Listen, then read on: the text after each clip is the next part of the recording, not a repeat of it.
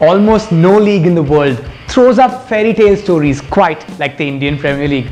Unfortunately, some players fizzle out after just one wonder season.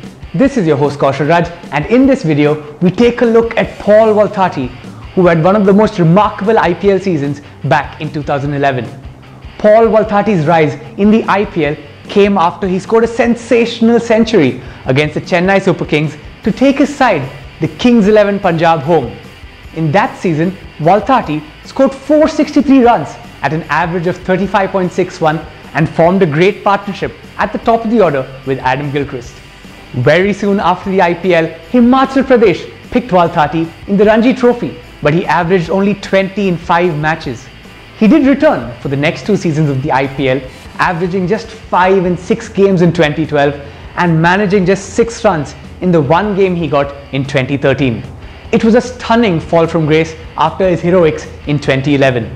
Apart from the IPL, his first class career didn't take off either, and he played just 5 first class matches where he managed a high score of 56. At the age of 34, there are certainly many ways to reflect upon Valthaty's career.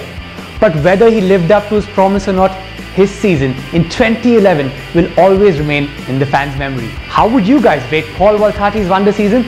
Let us know in the comment section below and tune in for more such videos. This is your host Kaushal signing off. Have a wonderful day.